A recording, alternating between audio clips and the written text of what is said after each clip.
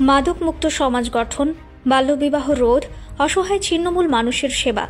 মেধাবী শিক্ষার্থীদের সহযোগিতা শিশুশ্রম বন্ধে সবসময় কাজ করে ফুলবাড়ি সমিতি ঢাকা। শুক্রবার বিকাল পাঁচটায় মোহাম্মদপুর মা ও শিশু স্বাস্থ্য হাসপাতালের সম্মেলন কক্ষে ফুলবাড়ি সমিতির উপদেষ্টা মণ্ডলী ও কার্যকরী কমিটির প্রথম সভা অনুষ্ঠানে সমিতির সভাপতি প্রফেসর রেজাউল আলম কথা বলেন। ইসমাইল হোসেনের পাঠানো তথ্যচিত্রে থাকছে বিস্তারিত।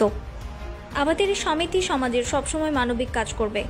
সমিতির সাধারণ সম্পাদক ভোরের আকাশকে বলেন, আমাদের সমিতির লক্ষ্য উদ্দেশ্য হচ্ছে এই সমিতির মাধ্যমে আমরা ঢাকস্থ সকল ফুলবাড়ি বাসিন্দার সামাজিক যোগাযোগের একটি সহজ মাধ্যম হব, যেখানে ঢাকস্থ সকল ফুলবাড়ি বাসিন্দার তাদের সকল ভালো মন্দ শেয়ার করতে পারবে, বিপদে একে অপরের সহযোগিতা করতে পারবে।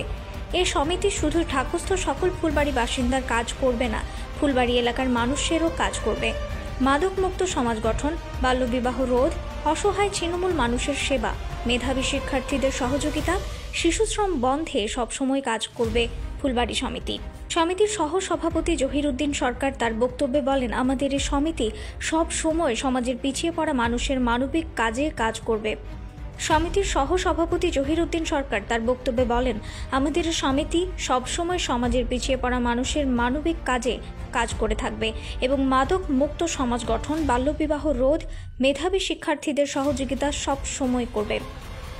এই সময় সভায় উপস্থিত ছিলেন সহ সভাপতি জহিরুদ্দিন সরকার, মীর তারিকুল ইসলাম ফারুক, মতিয়ার রহমান, আলী আহমেদ হাসিস, শাহনেওয়াজ সরকার মিলন, প্রকৌশলী গোলাম কিবরিয়া, ডাক্তার মুশফিকুর রহমান মোনাস রাসুল মন্টু, সিনিয়র যুগ্ম সাধারণ সম্পাদক সালাউদ্দিন রিপন, যুগ্ম সাধারণ সম্পাদক আবু জাফর, রহমতুল্লাহ দিন, শাহজাহান মণ্ডল লিটন, সাংগঠনিক সম্পাদক এ কে এম মাহবুব আলম হীরা, সহ সাংগঠনিক সম্পাদক মোসাফিজুর রহমান জনি, অর্থ সম্পাদক খায়রুল আলম, প্রচার সম্পাদক মাহবুব আলম, নির্বাহী সদস্য হিসেবে উপস্থিত ছিলেন professor doctor Shahnaz Banu, Ataullah Hashim Selina Akter Banu, Farzana Rahman Shimla, doctor Abdullah হেন কাফি, হাসানুল হক প্রমুখ।